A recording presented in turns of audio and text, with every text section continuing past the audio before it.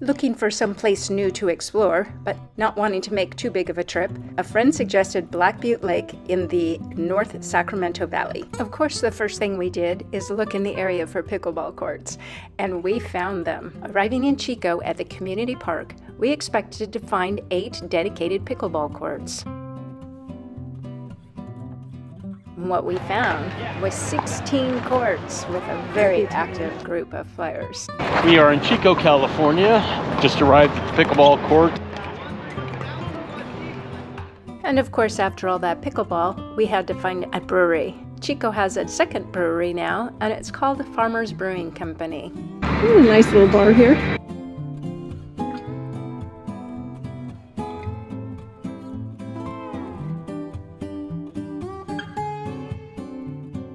Farmers Brewery is 100% family owned, and most of the grains used in the production of the beer is grown on the family farm, which truly makes it a farm to glass beer.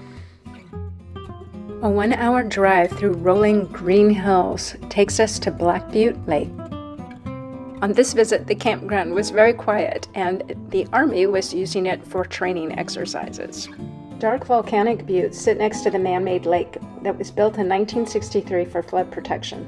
It's popular for boating, water skiing, fishing, swimming, and camping. Buckhorn Campground has 93 sites on slopes overlooking the lake. When full, as it is on our visit, the lake is 7 miles long with a surface area of 4,460 acres, and it has 40 miles of shoreline. There are also trails winding through the trees rolling over the hills, which are popular for hiking and biking. It's time to hop on Katie and hit the verdant hills and enjoy the ride. We start by taking the dirt road out to the Black Butte.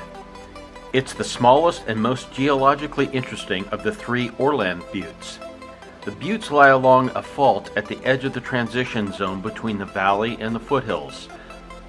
Black Butte is made of Lovejoy basalt, a dense rock particular to Northern California and most likely produced by a volcanic vent near the town of Susanville, 100 miles to the east.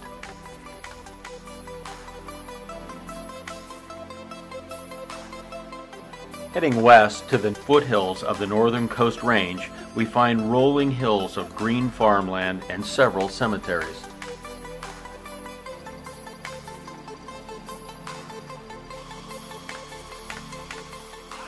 Turning back, we head down Road 306 and find an old historic cemetery.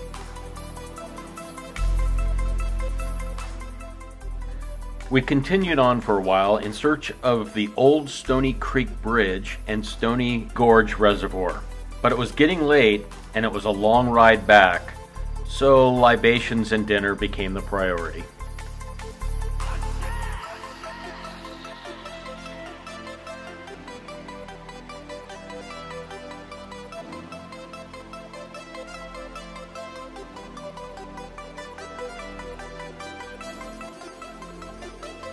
After dinner, we took a cruise around the almost empty campground and found the military out playing with their toys.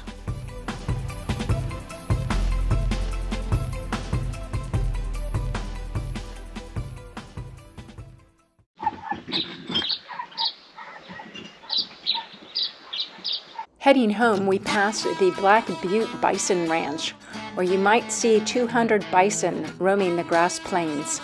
As we passed through Lincoln on our way home, we came across a new brewery, Fowler Ranch Farm Brewery. It's a family owned brewery and it's a part of Fowler Nurseries, a fruit and nut tree nursery that has been in operation since 1912. Oh, look at how nice this is. Look at you guys. When did you open? We're just driving home and we saw it and now open. It's oh, yeah, like we we're opened in. February 8th. Well, that's a wrap for our trip up to Black Butte Reservoir. Uh, very fun trip. No mountain biking this time, but uh, played pickleball in Chico. Never been there before. Uh, took some motorcycle rides, just toured around just places we hadn't been before. It was pretty fun. And until the next episode, that's it for us. Ciao.